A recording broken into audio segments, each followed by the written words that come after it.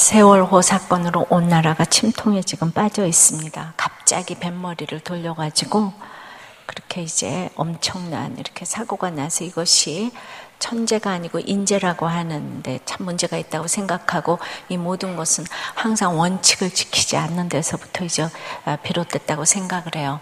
근데 잘잘못을 다 떠나서 어, 누가 아, 위로해 줄 수가 있겠습니까? 어, 한 자녀, 한 자녀가 한 가족에게 너무나 귀한 생명이고 요즘에는 더군다나 핵가족이기 때문에 집안에 또 한 학년이 거의 없어지게 이렇게 되었고 그러나 하나님께도 너무나 귀한 한 생명, 한 생명 아니겠습니까? 주님은 다 아신다고 생각을 합니다. 보이는 이 세상에 달하면 어떻게 이 고난을 극복할 수가 있겠습니까? 어, 인간의 입으로는 위로를 할 수가 없지만은 부활의 주님이 이제 모두 찾아가시기를 기도합니다. 그래서 이 사건을 통해서 내가 주를 보았다. 곳곳에서 이렇게 간증하는 역사가 일어나기를 바랍니다. 이 부활하신 주님을 만난 사람은 대제사장도 아니고 바리새인도 아니고 열두 제자도 아니고 일곱 귀신 들렸던 막달라 마리아 창녀였던 막달라 마리아에게 부활의 주님이 처음 이렇게 찾아가셔서 만나 주셨어요. 근데 이렇게 막달라 마리아가 만났다고 이걸 누가 기록했냐면 요한 오늘 이제 사도 요한이 기록했어요. 그런데 창녀 마리아가 제일 먼저 만났다고 자기네들은 빈무덤 보고 도망갔다고 이렇게 기록을 해준 사도 요한은 정말 진실하고 겸손한 사람이라고 생각을 합니다. 그래서 마리아가 어떻게 내가 주님을 보았다고 했는지 오늘 우리가 그 과정을 같이 따라가 보기를 원합니다. 아, 그래서 첫째로 주님을 보기 전에 마리아는 주님의 시체를 보지 못해서 지금 울었어요. 예. 11절입니다. 아, 마리아는 무덤 밖에 서서 울고 있더니 울면서 구부려 무덤 안을 들여다보더니 예. 아, 예수님의 무덤으로 어, 되돌아간 막달라 마리아는 그 원문에 보면 소리 없이 어, 흘리는 눈물이 아니고 땅을 치면서 정말 울 기력이 없도록 울었던 다윗처럼 통곡하고 이제 울었다는 것이에요. 이 세상에서 가장 그 천하다는 창녀였는데 일곱 귀신이 들렸으니까 정신적, 육적, 영적으로 완전히 썩어 빠진 그런 상태의 막달라니까 남편도 없고 자녀도 없고 친구도 없고 이 세상에서 완전히 소외됐는데 그 소외된 막달라 마리아를 예수님이 이렇게 친구 삼아 주시고 어, 그랬기 때문에 그냥 주님만 생각하면 너무나 이제 슬픈 거예요. 그래서 그 울고 또 울었어요. 근데 제자들은 보고 다 도망갔어요. 예, 그랬는데 차마 갈 수가 없는 거예요. 그래서 시체라도 보려고 벌써 두 번이나 갔는데 또 세 번째 지금 확인해 보려고 와서 무덤을 구부려서 보고 또 봤어요. 예, 자, 우리도 나의 사건만 생각하면 눈물밖에 날 것이 없는 사람들이 많이 있습니다. 세월호의 이 사건을 생각해도 울고 또 울어도 기가 막혀서 또 울고 또 울어도 또울 일밖에 없고 정말 땅을 치고 통곡할 일이 지금 이제 이 나라에 일어났습니다. 어, 그 입장이라도 너무나 이해가 그 됩니다. 무슨 말이 들리겠습니까? 말씀 하나도 안 들립니다. 우리 정답 다 알아요. 그런데 마리아처럼 지금 이렇게 우는 거예요. 예. 아, 그래서 제가 드릴 말씀 하나도 없지만은 그래도 하나님을 의지해서 하나님의 말씀은 살았고 운동력이 있기 때문에 그 말씀을 의지해서 그 여러분들 가운데도 오늘 올 수밖에 없는 일을 가지고 이 자리에 왔다고 하더라도 들리는 것만큼만 들리기를 제가 기도합니다. 그래도 100가지 중에 한 가지라도 들렸으면 좋겠어요.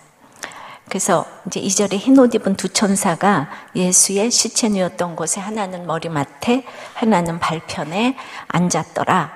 그래서 이제 울다가 흰 옷 입은 천사를 이제 만났어요. 소망이 조금 생겼어요. 시체를 찾을래나? 그래서 여러분들 울다가 오늘 이 자리에 오셔서 그래도 누군가가 천사가 가자 그래서 왔을 것 같아요. 그 조금만 희망이라도 가지고 오셨다면 참 너무 잘 오셨다고 말씀을 드리고 싶어요. 지금 아유 저 목사가 뭘 얘기를 하려나 이렇게 생각을 하시고 관망을 하시고 보시더라도 앉아만 계시기를 바래요. 13절에 천사들이 이르되 여자여 어찌하여 우느냐 이르되 사람들이 내 주님을 옮겨다가 어디 두었는지 내가 알지 못함이니이다. 어, 이 말을 하고 뒤로 돌이켜 예수께서 서 계신 것을 보았으나 예수이신지를 알지 못하더라. 마리아는 오직 예수님 시체 없어진 것밖에는 생각하지 못합니다. 아무리 옆에서 얘기를 해주어도 시체가 없어졌다는 얘기만 또 하고 또 하고 또 합니다. 그래서 예, 시체가 없어졌다고 울고 울고 또 울고 예, 예수님이 서 바로 옆에 서 계신데 예수님이신 줄 알지 못합니다. 다른 대안은 조금도 생각하지 못하고 없어진 얘기만 하면서 죽어도 시체가 있어야 된다고 합니다. 그래서 울고 있습니다. 왜냐? 예, 이건 자기를 생각해서 우는 거예요. 이제 누가 자기를 그렇게 따뜻하게 해줄 것이며 사람 대접을 해주겠는가? 그러니까 마리아의 계획은 뭔가 하면요. 시체에 향품 발라서 장사 잘 지내주고 죽을 때까지 이제 날마다 무덤에 가서 울참이거든요. 그걸 계획을 세웠거든요. 예, 자기를 이렇게 사랑해준 사람은 목숨을 아끼지 아니하고 그래서 죽을 때까지 이제 무덤에 가서 이제 울 거예요. 예. 여러분들 그러지 마세요. 예, 죽을 때까지 그렇게 맨날 이렇게 무덤에 출근하는 사람들이 있어요. 예, 그 일 하지 마시고 하나님이 하라고 하시는 일이 오늘 뭔가 좀 들어보세요. 자, 그래서 이제 그러면은 이제 오늘 난 여러분들이 예, 마리아가 이렇게 울고 울고 울었는데 마리가 예수, 마리아가 예수님하고 친하게 지내던 사람인데 여러분들 교회도 다녔는데 당시 해결되지 않는 문제가 생겼어요. 생각만 하면 눈물이 또 나고 또 나고 또 나고 그 찾아야 될 시체가 있는 거예요. 그거 찾기 전에는 눈물이 멈추질 않는 거예요. 여러분들 해결할 수 없는 일이 있습니까? 예, 그래요. 예, 정답 제가 잘 알아요. 근데 오늘 제가 정답을 말씀드리려고 하는 게 아니에요. 정말 여러분들 가운데 이제 부활의 주님이 찾아가시길 원하는데 예, 저는 어? 떻게울 수가 있냐? 예수 믿는 사람이 어떻게 울 수가 있냐? 예, 그렇게 얘기하려 그러지 않아요. 너무나 여러분들을 위로해드리고 싶고, 그리고 또 마음껏 울라고 말씀드리고 싶어요. 그러나 이제 또 울다가도 뚝 굳혀 오늘 주님이 뚝 하니까, 예, 그래서 이제 예, 들리는 것만큼 들으라고 예수님의 말씀을 의지해서 이제 그 그나마 또 이 처방을 좀 드리려고 하는 것이에요. 마리아가 왜 우는가? 이걸 살펴볼 때 마리아는 지금 예수님 때문에 울어야 되는데 이렇게 성경을 읽으면서도 예수님이 보이지 않아서 지금 이렇게 울, 고 있어요. 우리가 환경이 어려워도 말씀이 안 들리고 너무 어려워도 말씀이 안 들려요. 예수님께서 고난받고 3일 만에 살아나리라 하셨지만은 그 말씀을 믿는 사람이 아무도 없는 거예요. 그런데 근데 결론부터 말하면 내가 찾는 예수님은 살아나셨습니다. 예, 예수님은 그런데 반드시 죽으셔야 부활을 하시는 거예요. 예수님은 전혀 새로운 생명체로 아, 부활을 하셨어요. 이 땅의 정신 상태와는 아주 다른 새로운 감정과 정신으로 부활을 하셨어요. 영원히 늙지 않고 병들지 아니하고 예, 이 모든 것을 똑같은 모습으로 가지고 왔지만 변하지 않는 거 오늘 보니까 그 음성이 하나 변하지 않아서 알아볼 수 있게 하셨고 그 다음에 정신 상태가 완전히 달라지신 상태로 이렇게 부활을 하셨어요. 예수님은 죽기 전의 상태로 살아나신 것이 아니에요. 예수님은 죽음을 연장시키신 분이 아니에요. 이제 예수님이 부활의 첫 열매이기 때문에 우리도 그 뒤를 따라서 영광스러운 열매가 돼야 하는데, 예, 사망은 무서운 세력입니다. 사망은 너희 쏘는 것이 어디 있느냐? 그랬는데 나사로가 죽었다가 살아났지만 잠시 후에 또 죽었어요. 나사로는 부활의 첫 열매가 아니에요. 오직 예수님만이 부활의 첫 열매인데 이 예수님은 반드시 죽으셔야 되는 거예요. 죽으셔야 부활을 하는 거예요. 죽어야지 그 완전한 부활에 이르는 거예요. 우리가 알지 못하는 완전한 새로운 그 감정과 생각과 정신이 있는 거예요. 이거를 경험해 보지 못한 사람은 알지를 못하니까 예수가 밥 먹여주냐 자꾸 이렇게 얘기를 하는 거예요. 그리고 경험한 사람은 자꾸 설명할 길이 없어서 안타까운데, 예. 그런데 아직 그 부활의 주님을, 그, 그, 예수님하고 교제는 했는데 만나지 못한 이 마리아가 이제 부활하신 주님을 지금 죽은 가운데서 죽은 자 가운데서 찾으면서 울고 있는 거예요. 적용해 보세요. 마리아는 실제로 주님이 부활하셨는데 지금 시체가 보이지 않아서 울고 있습니다. 결국은 가장 좋은 일 앞에서 울고 있는 것입니다. 우리도 지금 내가 울고 있는 사건이 가장 좋은 예수님을 만난 사건인데 좋은 일인데 울고 있지는 않은가? 적용해 보세요. 두 번째는 내가 주를 보았다 하려면 이제 이렇게 의외의 환경에서 주님을 보여주시는 것입니다. 15절에요. 예수께서 이르시되 여자여 어찌하여 울면 누구를 찾느냐 하시니 마리아는 그가 동산지기인 줄 알고 이르되 주여 당신이 옮겼거든 어디 두었는지 내게 이르소서 그리하면 내가 가져가리이다. 그러니까 예수를 믿어도 이 땅에서 잘 살고 잘 먹고 그냥 내 사전에 부도는 없어. 내 남편, 내 아내, 내 자식은 잘 되어야만 해. 예. 그러니 예, 내 자식이 속을 새기고 학교에 떨어지고 내 남편이 배신하고 바람피고 아내가 나가면은 이것이 슬픈 일이 아니라 육이 무너지고 영이 세워지는 예수님이 오시는 사건이기 때문에 좋은 일인데 사건만 나면은 이 땅이 단 줄 알고 울고 있는 사람이 너무 많은 거예요. 근데 우리가 이렇게 그 사건을 통해서 예수님을 알아보지 못하는 이유는 너무나 기대하지 않는 곳에서 사건이 생기기 때문이에요. 그래서 예수님을 이제 동산지기라 그러니까 동산지기가 예수님이라 그러니까 그럴 리가 없어. 어떻게 예수님이 동산지기야. 이렇게 되는 거예요. 어떻게 남편이 바람핀 사건이 예수님이 오시는 사건이야. 어떻게 내 자녀가, 내 남편이 죽은 사건이 어떻게 예수님이 부활하시는 사건이야. 도저히 우리의 생각으로는 알 수가 없습니다. 의외의 사람이고 사람이기 때문에 동산지기처럼 보이기 때문에 동산지기를 우리는 예수님으로 볼 수가 없어요. 그 사건에서 예수님이라고 생각할 수가 없어요. 여기서 정말 예수님을 만나는 이 놀라운 그 체험을 해야 되는데 이번 주 목장 보고서를 보니까 이제 지난주에 전 아, 간증했던 전도사님을 에, 이제 간증을 듣고 누가 비판을 했더라고요. 이분은 지금 에, 그 옛날에 이제 평신 돌면서 과부였는데 딸이 고등학교 때 이제 임신을 한 거예요.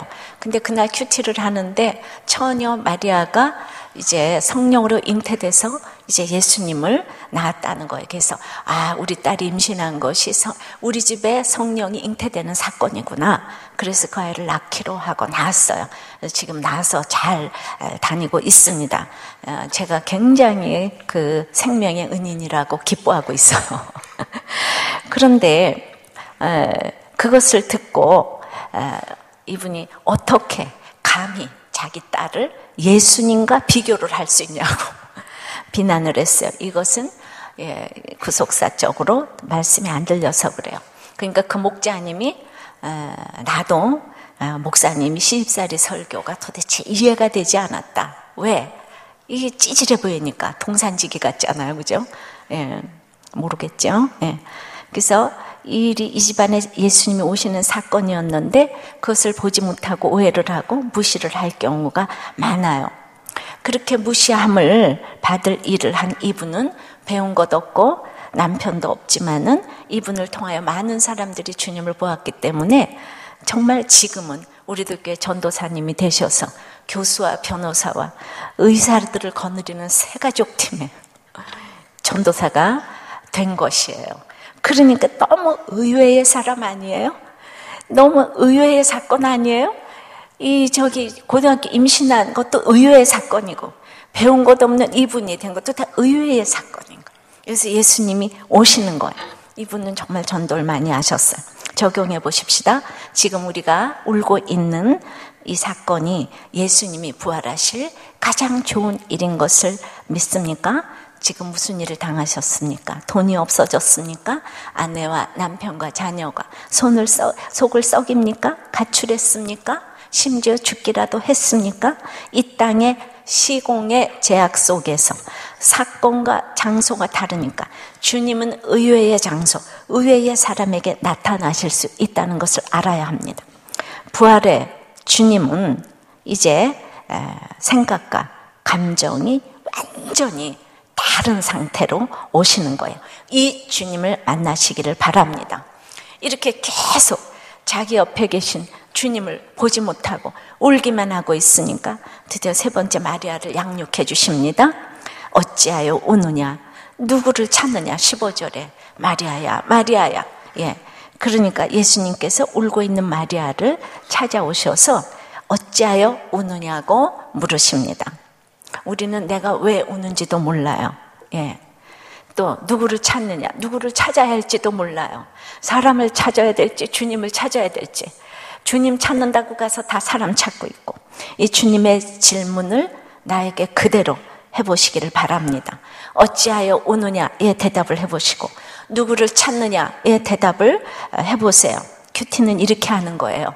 질문하시면 내가 대답하면 되고 명령하시면 순종하시면 되고 이걸 기록해보고 예 그렇게 하면 굉장히 유익이 있습니다. 여러분은 무엇 때문에 옵니까?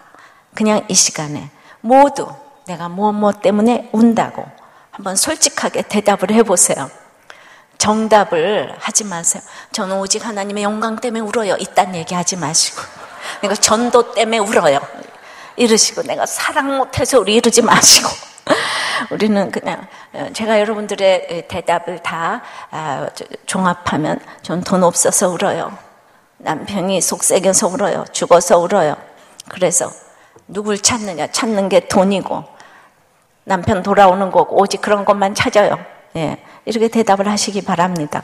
어떤 분은 김양재 목사는 내 사건에서 아무리 설명을 잘해 주어도 동산지기 같은 목사이기 때문에 안 들려 이렇게 대답하셔도 됩니다. 그러신 분도 계세요. 내가 저분이 남자 목사면 듣겠는데 뭐 이런 분도 계세요. 솔직하게 대답하는 게 제일 좋은 것 같아요. 자, 마리아의 대답도 동산지기로 생각을 한다는 거예요. 예, 우리도 예수님께 기도하고 울부짖으면서 늘 이렇게 동산지기로 생각을 아, 하고 있지는 않은지요. 예. 그러니까 예수님의 음성은 곳곳에서 들을 수 있습니다. 어, 사람을 통해서, 말씀을 통해서, 환경을 통해서, 사건을 통해서 말씀하시기 때문에 이렇게 의외의 곳과 사람을 통해서 말씀하실 때 못 알아볼 때가 많습니다. 너무도 하찮은 것 같은 사람, 또한 죽을 것 같은 환경에서 예수님이 오신다고 하니까 싫고 무섭고 그래서 통곡을 하고 땅을 치고 두드리고 시체 찾아라 시체 내가 시체 없으면 그 시체만 갖다 놓으라니까. 다른 것 다 필요 없다니까. 내가 미라를 만들어서도 끝까지 내가 끼고 갈 거야. 이렇게 생각하는 게 우리가 오늘 이렇게 마리아가 우는 거하고 같습니다. 적용해 보세요. 여러분들은 어찌하여 울고 지금 누구를 찾고 있습니까? 네 번째는 드디어 예, 이름을 불러주십니다 마리아의 이름을 불러주십니다 그래서 마리아가 울던 마음이 이제 어, 정리가 되었습니다. 16절 예수께서 마리아야 하시거늘 마리아가 돌이켜 히브리 말로 라보니 하니 이는 선생님이라 하는 말이라. 그런데 이렇게 형편없는 예, 마리아를 찾아오셔서 그냥 마리아야. 그냥 이 한마디에 마리아의 마음이 녹습니다. 형편없는 나를 찾아오시고 옆에 계시고 이 모습 그대로 이름을 불러주십니다. 여러분들 다 이름을 오늘 주님께서 불러주십니다.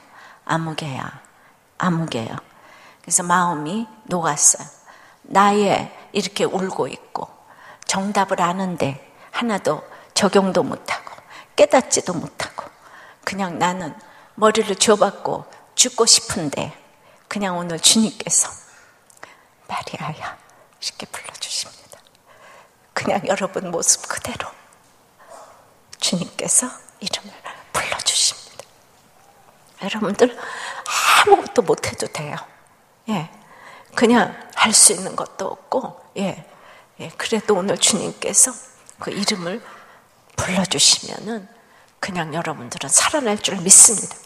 그 주님의 불러주시는 음성을 듣고 정말 여러분들을 돌이키시기를 바라는 것입니다. 사랑보다 더 좋은 약은 없는 것 같아요. 저희 특징은 정말 사람 이름이 저절로 외워진다는 거예요. 왜냐하면 예, 관심이 있으니까 그 사람 사건에 대해서 묵상하니까 저절로 이름이 외워졌는데 그냥 그냥 저, 그냥 요새 노화가 일어났는지 너무 알던 사람 이름이 자꾸 생각이 안 나요. 그게 얼마나 슬픈지 모르겠습니다. 그러니까 여러분들 제가 이름 잊어버렸다고 상처받지 마세요.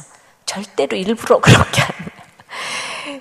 사람이 늙어지나니 그잖아요. 네, 제가 겉으로는 안 늙어 보여도 나이가 많답니다. 네, 그러니까 여러분들 저를 좀 이제 그 이해해 주시길 바래요. 그래서 14절에 는 어, 마리아가 이렇게 예수님께서 옆에 서셨는데 몰라봤지 않아요. 그러니까 내 힘으로 돌이키면 예수님이 안 보이는데 이제 16절에 예수님께서 마리아야 불러주시고 양육받은 후에 돌이킴은 이제 신앙의 돌이킴이에요. 그래서 부활 후에 그 직접 이름을 이제 불러주시니까 부활 후에 기록된 첫 번째 이름이 되었습니다. 여러분들이 이제 울던 마음을 정리할 시점이 되었어요. 이제 여러분들이 울고 있는 그 문제에서 주님께로 그, 어, 그 시선을 옮기라고 이름을 불러주십니다. 적용은 오늘 사랑의 마음으로 다 이름을 한번 불러주시기를 바라요. 예. 서로 가족들이 오셨으면 한번 이름을 불러보세요. 가족이 안 오셨으면 자기가 자기 이름 불러보세요. 시작. 아무개야. 여기서만 그윽하게 부르지 마시고 집에 가서도 계속 그윽하게 아무개야 예, 불러주시기 바랍니다.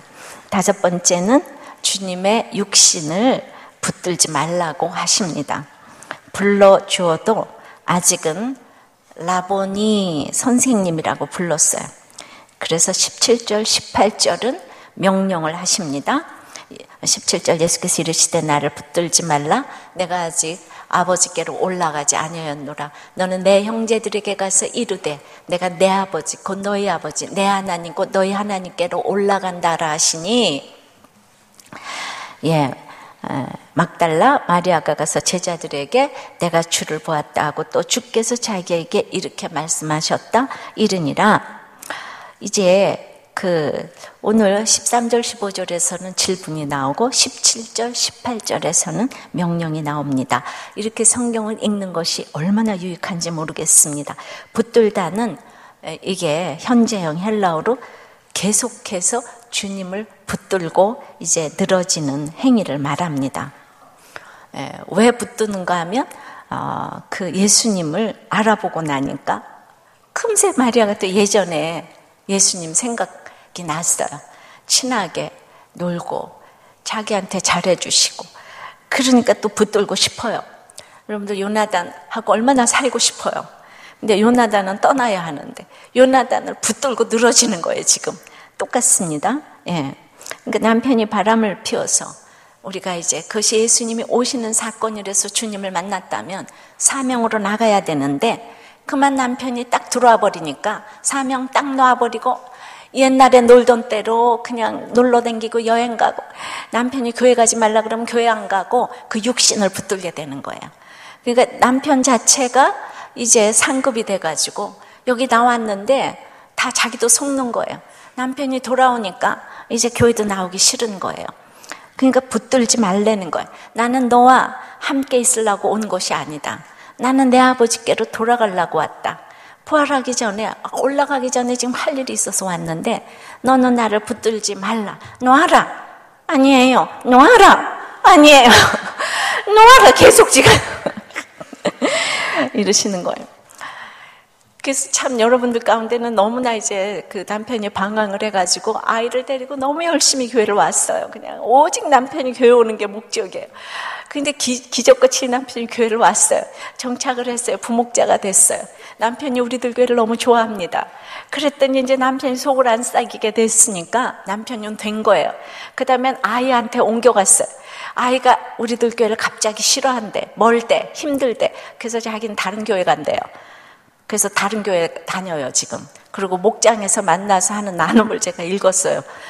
예, 그러니까 지금은 이제 자녀가 우상인. 남편 집착하다가 자녀 집착하는 거. 하나님 자체가 상급이 이제 안 되는 이런 일들이 있는 거는 그 남편의 육신을 붙들고 자녀의 육신을 붙들고자 하는 것이 있는 것이죠. 예, 그래서 그러니까 하나님은 이제 나는 보좌 위로 올라간다. 내 아버지가 너의 아버지고 내 하나님이 너의 하나님이라면 이제 성령님이 너희에게 오셔서 내가 할 일을 너도 할 수 있다 이 얘기를 하는 거예요. 나를 붙들지 말라. 성령이 오면 나와 같은 하나님이 너 속에도 있다 이렇게 되는 거예요. 육신에게서 그것을 얻으려고 하지 마라. 남편과 돈과 이 건강에서 얻으려고 하지 마라. 성령이 임하면은 너는 효과적인 이 도움으로 못할 일이 없다 이 얘기를 하는 거예요.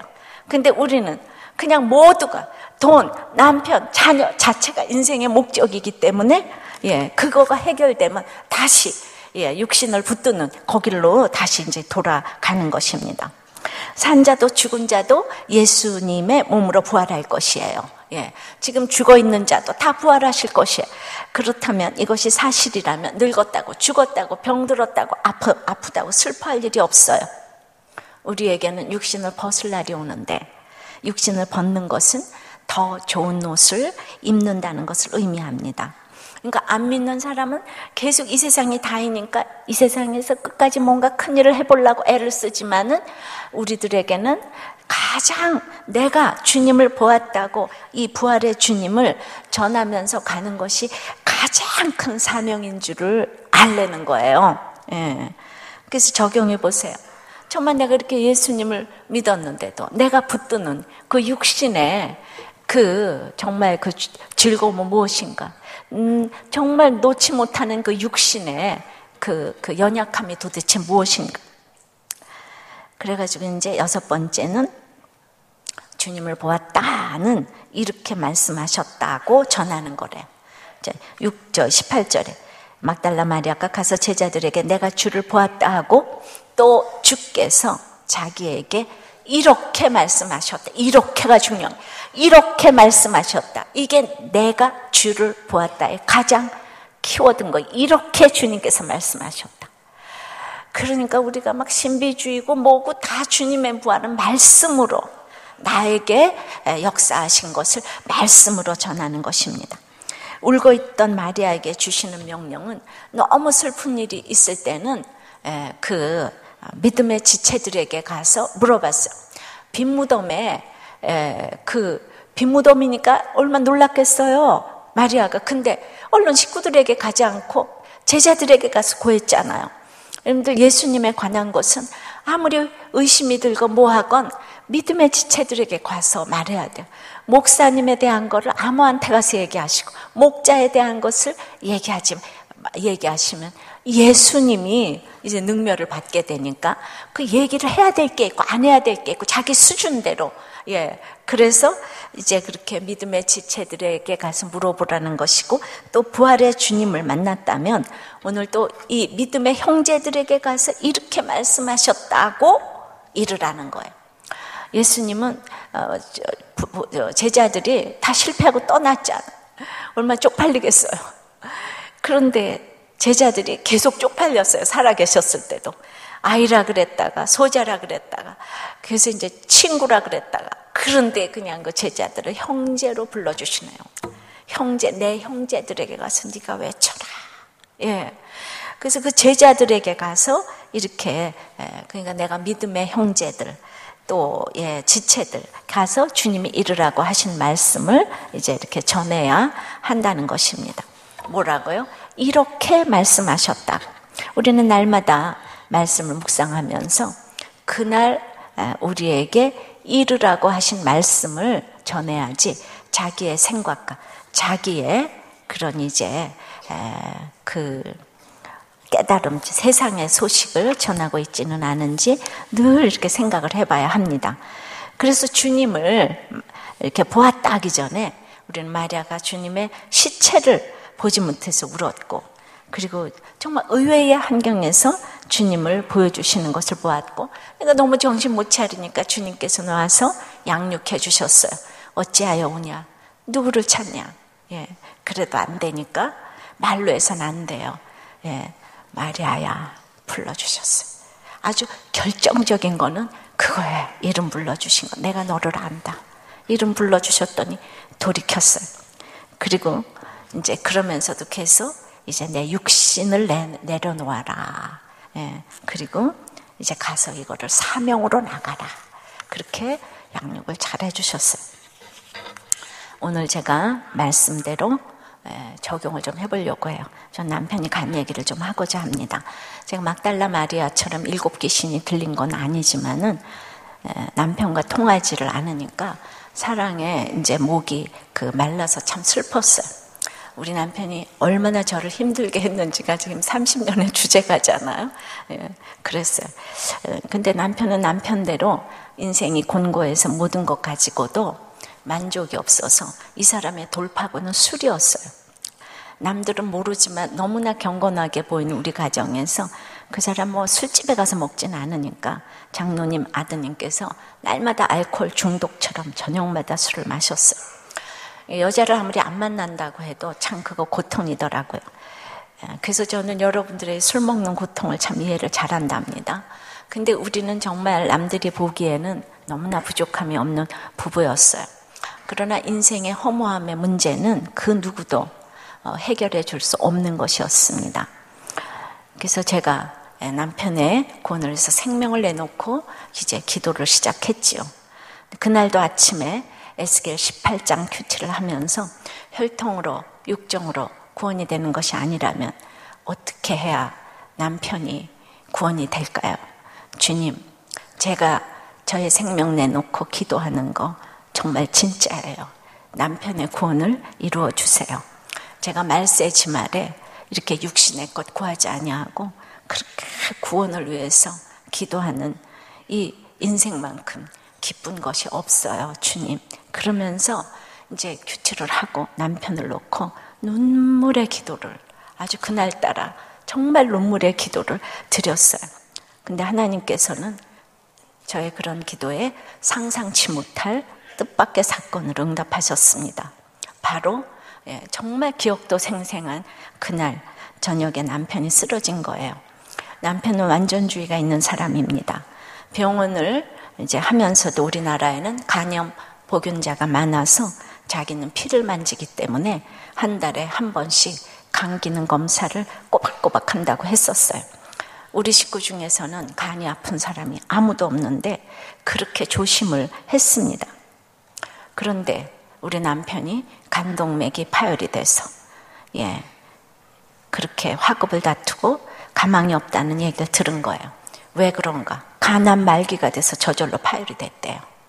여러분 이 사건을 어떻게 생각하세요? 우리 남편이 의사고 한 달에 한 번씩 간 기능 검사를 했는데 간암 말기가 될 때까지 몰랐다는 것입니다. 하나님은 남편의 완전주의를 여지없이 무색하게 하셨고 생사복은 하나님께 있다는 것을 가르쳐 주셨어요.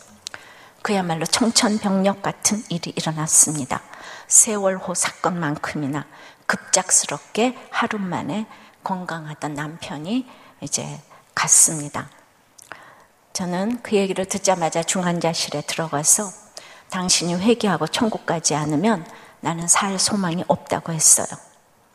그랬더니 남편은 용서해 주세요. 그렇게 했어요. 그러나 저는 성령께서 함께 하시는 회개를 해보았기 때문에 그것이 입으로 하는 회개 같았어요.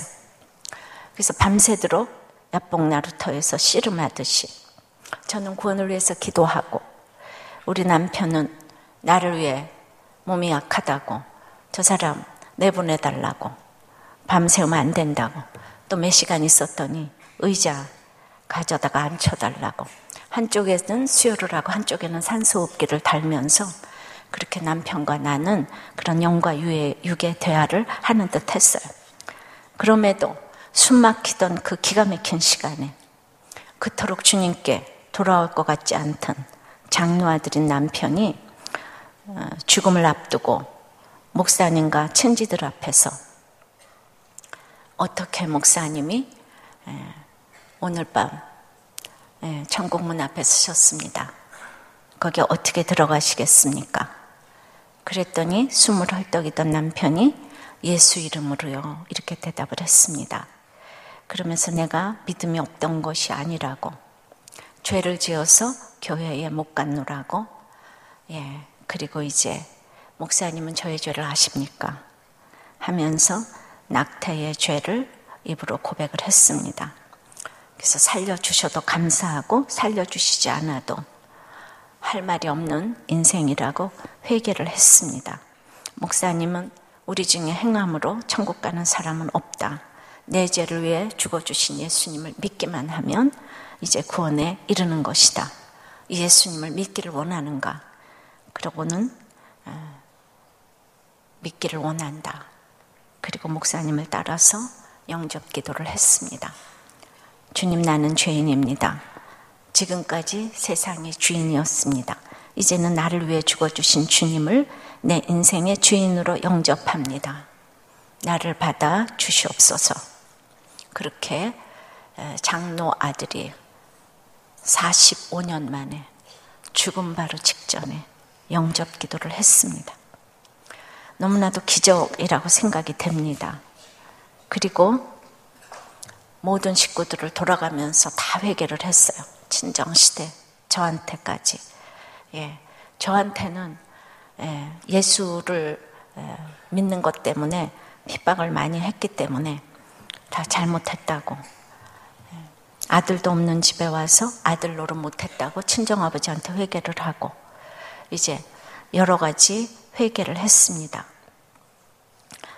회개를 완벽하게 하고 나서 그리고 이제 목사님이 가시고 자기는 이렇게 산소호흡기 수혈하면서 오래 사는 사람이 아니라고 내가 오늘 12시에 이거를 다 뺄 거니까 가서 병원비를 가져오라 그랬어요. 큰 일은 작은 일부터 하는 것이라고. 네. 그래서 그 얘기를 해서 저는 구원이 이루어졌기 때문에 그 명령을 순종했습니다.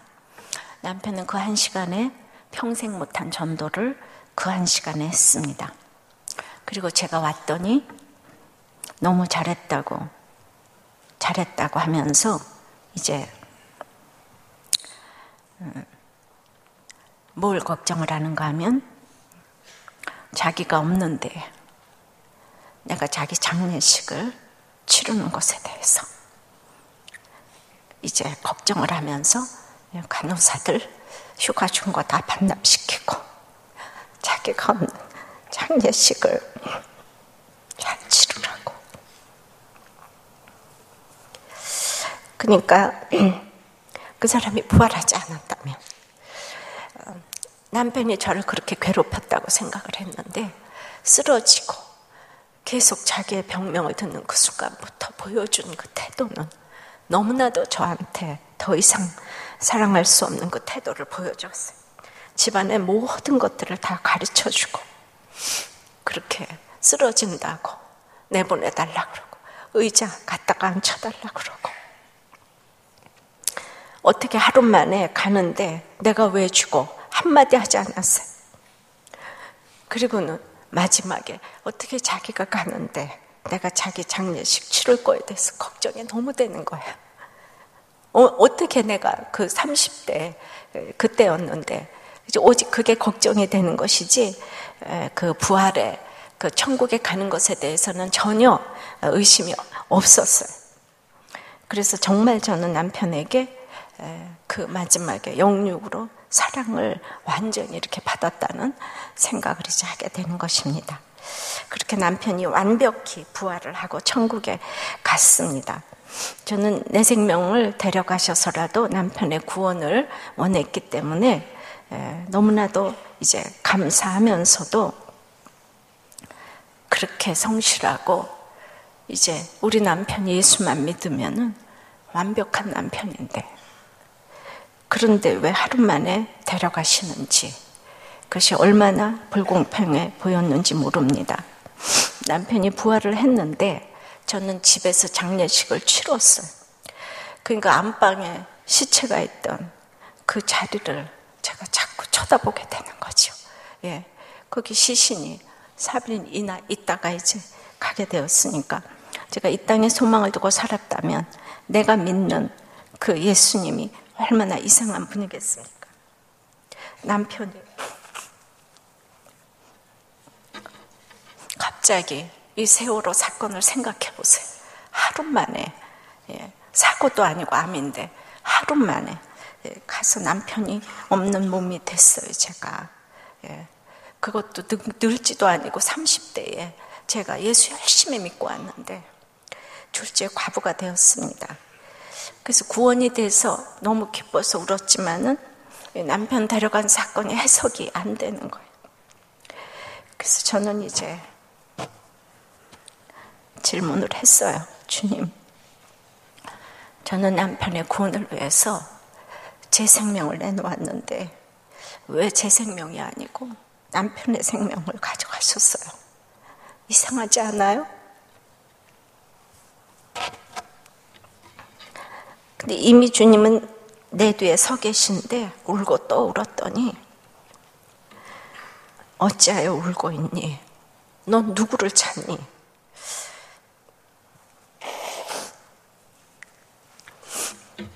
울지 않게 해달라고 굉장히 기도했는데요.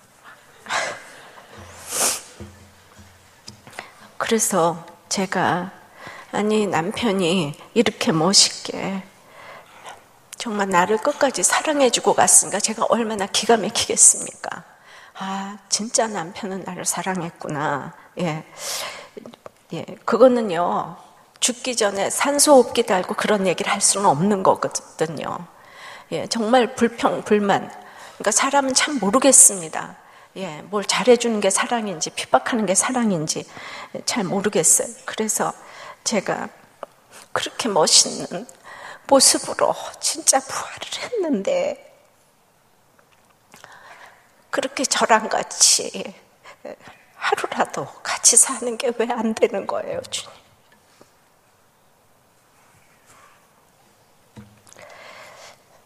왜 내가 30대 과부가 되어야 하지요? 예, 제가 그렇게 물었어요. 그랬더니 예수님께서 양재야 하고 이름을 불러주신 것이 그날 큐티 말씀인 에스겔 말씀으로 찾아오셔서 양육을 해주신 것입니다. 우리가 이사만 가도 여행만 가도 큐티를 빼먹는다고 하는데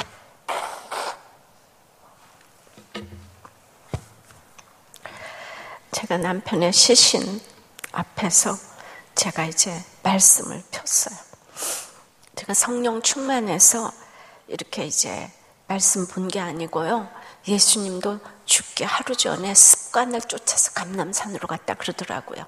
그러니까 저도 진짜 습관을 쫓아서 그냥 자동적으로 오늘 말씀이 뭐라고 하시는가 예, 그랬더니만 이제 주님은 그날 큐티 본문 에스겔 18장 21절서부터 32절까지의 말씀을 통해서 이렇게 말씀하셨어요. 23절에 나 주여와가 말하노라 내가 어찌 악인의 죽는 것을 조금인들 기뻐하랴 그가 돌이켜 그 길에서 떠나서 사는 것을 어찌 기뻐하지 아니하겠느냐 남편의 죽음을 아시고 제 질문을 하나님이 대신해 주셨어요. 28절에 그가 스스로 헤아리고 그 행한 모든 죄악에서 돌이켜 떠났으니 반드시 살고 죽지 아니하리라. 대통령이 알아줘도 기쁜데 남편이 구원받은 것을 창조주 하나님께서 이렇게 확증해 주셨어요. 근데 25절에 그런데 너희기를 너, 너희는 이르기를 주의 길이 공평치 않은 다 하는도다. 내 길이 어찌 공평치 아니하냐? 너희 길이 공평치 않은 것이 아니냐? 남편의 죽음이 내가 불공평하다고 그 안방에 시체 놓인 자리를 바라보면서 시체를 찾으니까 하나님이 이걸 공평하다고 하셨어요. 그래서 의인이 예, 그한 가지 악을 행하고 죽는 것도 공평하고 악인이 한 가지 의를 행하고 사는 것도 공평하다고 니네 남편이 악인 같았지만 예수 믿고 사는 거 이거 공평하다 예. 그런데 네 남편이 예수 믿고 마음과 영을 새롭게 해서 살아났는데 예수 믿지 않고 죽는 자의 죽는 것은 내가 기뻐하지 아니하는데 네가 남편이 부활했는데 마음과 영을 새롭게 해서 부활했는데 이렇게 슬퍼한다면 부활도 구원도 믿지 않는 것이다 이렇게 말씀하시는 거예요. 제가 무슨 말을 하겠어요? 사실 하루아침에 남편이 죽었는데 인간의 어떤 말이 위로가 되겠습니까? 그러나 사람의 첫마디 말보다 하나님의 말씀이 얼마나 살았고 운동력이 있는지를 체험하는 순간이었습니다.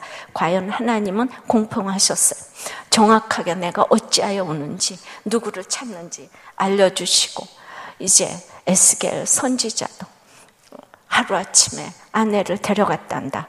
슬퍼하지 말고 눈물을 흘리지 말고 이제는 너는 표징의 선지자가 되라고 하셨어. 내가 주를 보았다고 주께서 이렇게 말씀하셨다고 제자들부터 시작해서 주의 형제들에게 외치는 사명을 감당하라고 그게 에스겔에 쫙 나와 있는 거예요. 그 말씀대로 제가 만 27년간 전 세계에 이 30대에 남편이 갑자기 하루 만에 죽은 사건을 가지고 내가 주를 보았다고 외치고 가는 인생을 살게 하셨습니다. 아니면 제가 시체 찾다가 우울증 걸리고 지옥을 살 뻔했는데 사명을 감당하는 기가 막힌 부활과 기적의 인생을 살게 하신 것입니다. 내가 주를 보았다고 주께서 나에게 이렇게 말씀하셨다고 천국 가는 그날까지 제가 외치고 갈 것입니다. 그때만 해도 막달라 마리아처럼 저도 너무나도 인생이 미약하고 내놓을 것이 없었는데 그렇게 말씀이 이제 능력이 되니까 이제 벙어리에서 다시는 잠잠하지 아니하리라 24장에 하시더니 저의 입이 열리고 이제 어떤 고난도 실패도 구원의 사건으로 바라보며 인도받게 하셨고 그것을 나눌 때 저도 살아나고 많은 사람들이 살아나게 되었습니다. 여자들의 증언은 법정에서 인정도 못하던 때에 아, 못 봤던 때에 예수님의 탄생과 부활이 여자들에게 목격이 됐습니다. 내 사건에서 살아나는 것은 위안 정도가 아니라 증거를 해야 됩니다. 우리 살아난 사람은 교양 있게 못합니다. 와보라 그러니까 사마리아 여인이 물동이를 버려두고 이제 외쳤어요. 저도 이렇게 외치다가 여기까지 왔습니다. 그래서 재수생 모임으로 시작한 것이 QT 모임, QT 선교에 우리들 교회까지 이어져서 막달라 마리아를 하나님께서 계속 대접해 주신 것처럼 저를 대접해 주셨다고 생각합니다. 아무쪼록 세월 후에 이 아픈 사건에서 각자의 곁에 계신 그 주님을 보게 해달라고 기도합니다. 주님은 어떤 곳에서도 내 옆에 계십니다. 저희 작은 간증이나마 내 옆에 계신 주님을 보게 하는데 제가 쓰임 받기를 소원합니다. 말씀 맺겠습니다. 내가 주님을 그 보았다고 하기 전에 사랑하는 마리아가 주님의 시체가 안 보여서 울었습니다. 내 고정관념이 그 자리에서 넘어가지를 않으니까 눈물밖에 날 것이 없습니다. 주님은 가셔야 하는데 부활하신 주님의 시체를 찾으니 이게 얼마나 민망한 일입니까? 나의 슬픔은 내가 예수께로 가는 가장 좋은 일입니다. 의외의 사람에게서 보일 수가 있어요. 여러분들의 차별 때문에 이제 안 되는 것입니다. 동산지기로 오해했지만 그런 차별이 우리에게 끝없이 있습니다. 애정을 가지고 내 모습 이대로 불러주십니다. 이제 육신의 주님을 붙들지 말고 형제를 향해 나가면서 사명 감당하는 여러분들 되시기를 바랍니다. 찬송하고 기도하겠습니다. 나를 지으신 주님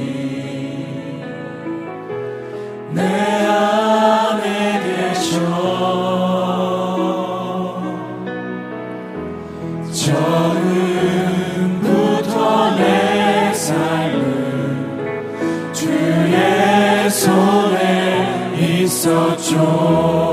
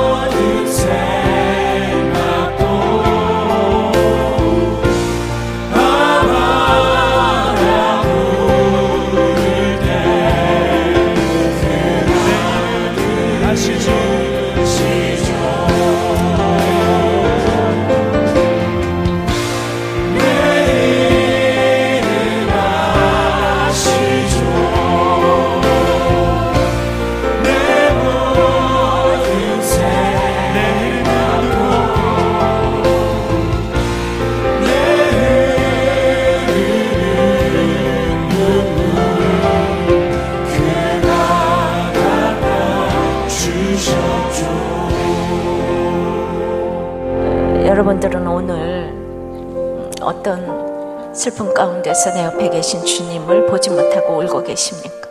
죽어도 시체를 내놓으라고 울고 울고 또 울고 아무 말도 안 들리지는 않으십니까? 오늘 주님이 내 옆에 서 계시다고 합니다. 우리의 고정관념과 이 모든 것을 내려놓고 주께서 이렇게 말씀하셨다고 나의 모든 환경을 가지고 이제 이 상처가 별이 되어서 모든 사람들에게 주님께서 이렇게 말씀하셨다고 이제 증거하는 인생 살게 해달라고 오늘 그 주님께서 불러주시는 그 이름 주님이 나를 불러주셨다 생각을 하시고 주님의 증인이 되기로 작정하시는 여러분 되시기를 바랍니다. 다 같이 기도하겠습니다. 주님은 죽었다가 살아나셨습니다. 살아나신 주님이 내 옆에 울고 내 옆에 계신데 울고 있는 저의 모습이 있습니다. 남편이 마지막에 완벽하게 구원받고 가니 구원받고 저와 잠시라도 살게 하시면 안 되었을까 하는 생각이 들 때가 있었습니다. 나도 남편의 사랑받고 살면 안 되는가 하는 마음에 부러웠습니다. 저라고 어떻게 육신을 온전히 넘어서겠습니까? 그럴 때마다 주님이 양재야 어찌하여 네가 우느냐 누구를 찾느냐 찾아오셨습니다. 오늘 이렇게 여러분의 이름을 불러드리고 싶습니다. 여러분 남편이 없습니까? 자녀 때문에 마음이 비어지십니까? 수치로 인하여 살고 싶지가 않습니까? 밤잠을 안 자고 회사를 지키고 가정을 지키고 자식 공부를 지켰는데 무덤이라고 남편이 나갔습니까? 자녀가 나갔습니까? 아내가 나갔습니까? 사원이 나가버렸습니까? 내 몸이 성전인데 건강이 나가고 암이 걸리고 죽은 자같이 되었습니까? 오늘 그 모든 슬픈 일이 좋은 일이 되어서 진짜 예수님이 오시는 사건이라고 말씀하십니다. 막달라 마리아를 불러주시고 사랑하시는 주님이 내 옆에 서 계시다고 합니다. 내 이름 아시는 주님. 내 모든 슬픔을 아시는 주님. 누구도 다정하게 이름을 안 불러주셨는데 오늘 각자 주님이 불러주시는 우리의 이름을 듣기를 원합니다. 이제는 부활체가 되어서 육신의 주님을 붙들지 말고 시간과 공간의 자유로운 부활의 영성을 가지기를 원합니다.